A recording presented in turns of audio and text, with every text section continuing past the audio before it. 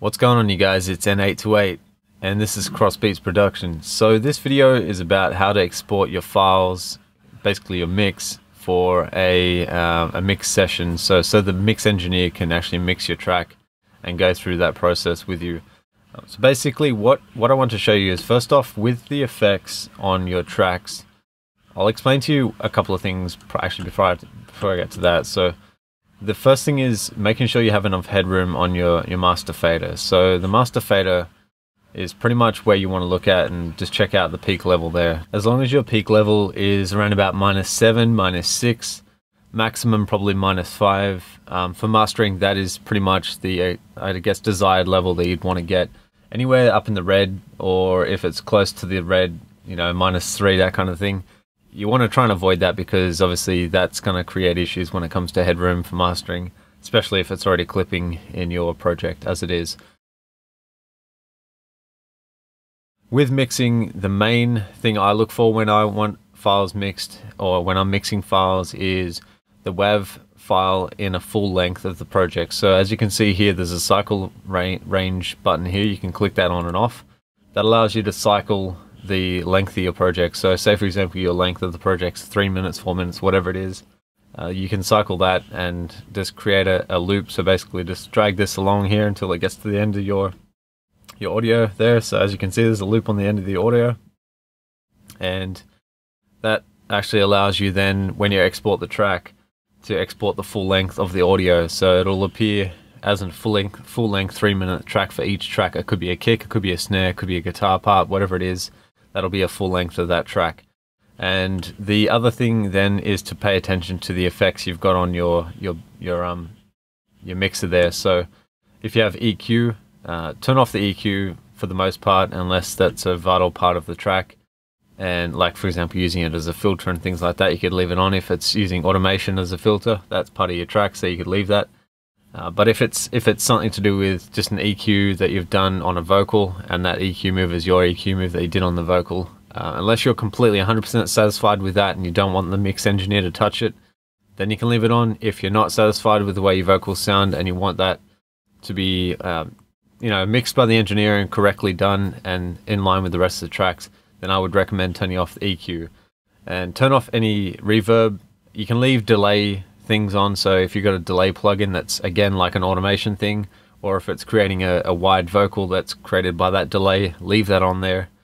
Otherwise, if the delay is just the fact of being a delay and it's just created delay on a vocal for whatever reason, and it's not part of the actual track, like the, the style of the track or an FX on the track, then you can turn that off. So with pitch pitch correction, either way, you can leave that on if you wanted to it does alter the way that the signal is processed. If if that's part of the track, leave it on. If it's not, turn it off. Uh, so as you can see here, pretty much all of my effects are turned off. When I play this track to you. Continuing games. I just found my feet. I'm hearing that word, but I still turn to heat. Why? I turn back. I turn Okay, so as you can see, the levels here are really pretty much peaking at minus 7.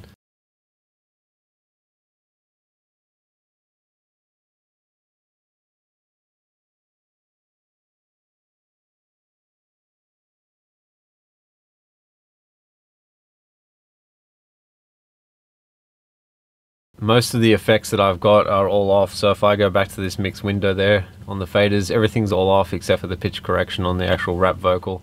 And I've got an effect here which makes the, the rap, so I've got a Vox that pretty much goes wide and it's an effect on the on the rap. So if that's part of your effect, leave it on there. Um, but if it's not, obviously you can turn it off. So the main thing is to make sure that all of the effects that you've got on your, your plugins that are part of the actual the track. So if it's, like I said, if it's a filter that cuts off certain parts of your track, then leave it on there. If it's something that's just a normal um, part of the vocal and an EQ move, then you can turn that off so the mix engineer's got full control of that. Then when you're exporting it, the way that you do that is just go to the File tab here, go down to Export, and select all tracks as audio files. Click that, It'll bring you into this page. You can create a new folder down here. It'll show you this little thing down here, new folder. Create a new folder wherever you want that to be on your desktop, wherever it needs to be.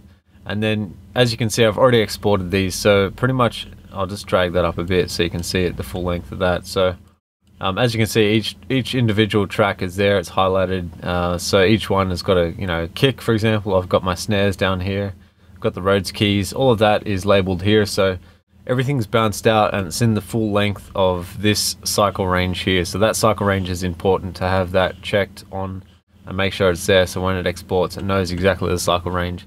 When you're exporting it, make sure it's in WAV and it can be 24 bit. Mostly 24 bits the best way to have it come through make sure it's export and cycle range only and turn off the normalization because you don't want it to normalize any of the files there and you can just um, put it into a new folder and then hit export. Once it's exported it takes a bit of time to do that and it'll appear in the folder wherever you've located that folder and then you can send that folder to the person who's mixing it and that's pretty much it and then happy days